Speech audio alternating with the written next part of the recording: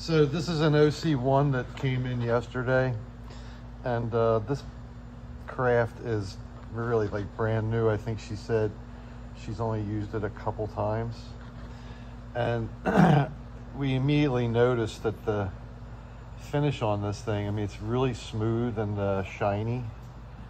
However, it's quite irregular, and I don't believe that this was done intentionally you can see the substrate through the, the gray. And um, the reason it's here is somebody tried to steal the thing off of a locked rack and wind up getting it kind of mangled. So there's damage you can see there in the glare. It's cracked.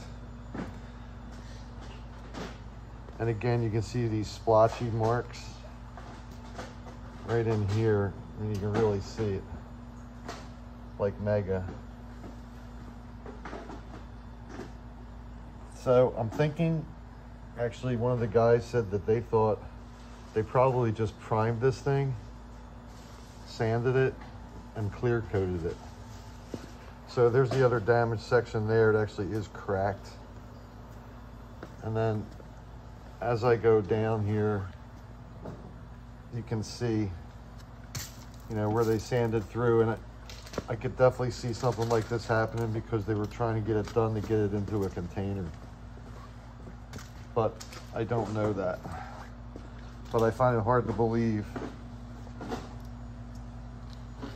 that they would actually, you know, do that. Well, they did it, so there's that.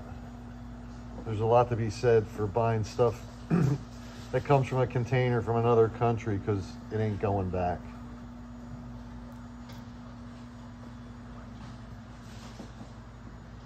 So that's the only damage on the boat. And um, we're gonna do our best to get this thing straightened out.